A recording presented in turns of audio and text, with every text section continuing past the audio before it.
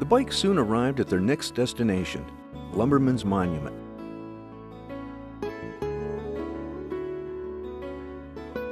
Okay, here we are at Lumberman's Monument, and you guys are going to really love this view.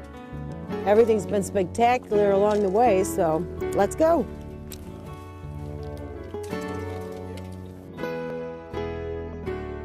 This huge bronze memorial to Michigan's lumbering era sits on top of a high bluff overlooking the sparkling waters of the AuSable River since 1932. We've been here many times in the past, but uh, I know that there's a lot of people that are probably seeing this for the first time, Sandy. So could you kind of explain uh, what people will find when they come here to the monument? When they come here to the visitor center, of course we have we have the building that's open. Um, it's usually open late April through uh, color season, so about the 23rd of October this year.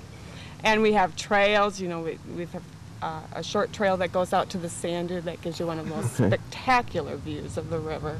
Easy walk, um, barrier free, good for Oh. good for wheelchair, good for a stroller. Very good. And then uh, you can always take that treacherous hike down to the Wanigan.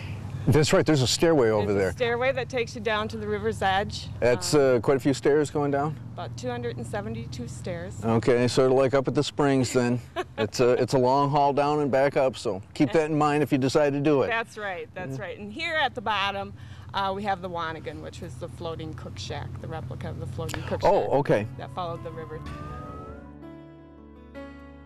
Interpretive signs and exhibits tell the story of moving logs from the forest to the mills. Children enjoy climbing the log jam and using the crosscut saw.